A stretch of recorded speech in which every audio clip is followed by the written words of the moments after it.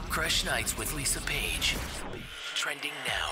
All right, so it looks like, and it seems like, and it sounds like Justin Bieber and Hailey Baldwin are already married, but they haven't had the actual ceremony. This is what we have been hearing about for weeks and weeks and weeks. They reportedly still plan to have a big church wedding ceremony, but it's not going to happen until next year. We're also hearing that they didn't sign a prenup before they got married, and it's believed that no protective documents were signed because there was no time. Remember a couple weeks ago, they showed up at the courthouse in New York, and that's the day they apparently became legally married. I don't know if you can do a prenup after you get married. Is that even possible? If you're a lawyer, someone please clarify this. For more pop culture news, go to popcrush.com. I'm Lisa Paige. Listen to my radio show. It airs nationally every weeknight starting at 7. You can listen online, of course, in your city or on the Radio Pop app.